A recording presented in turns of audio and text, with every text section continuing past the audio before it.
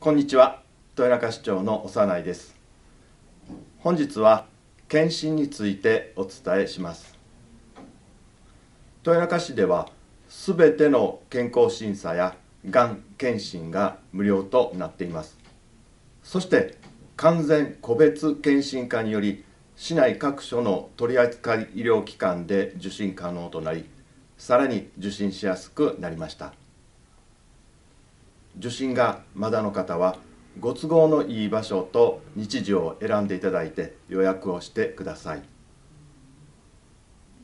検診を各取扱医療機関で受診していただくことはかかりつけ医を持つことにもつながります。ウィズコロナアフターコロナにおいて健康について相談できるかかりつけ医を持つことはとても重要です。また受診を控えてしまうと生活習慣病やがんを進行させる恐れがあります。このような時だからこそ検診を受けていただき健康なライフスタイルの維持管理につなげてください。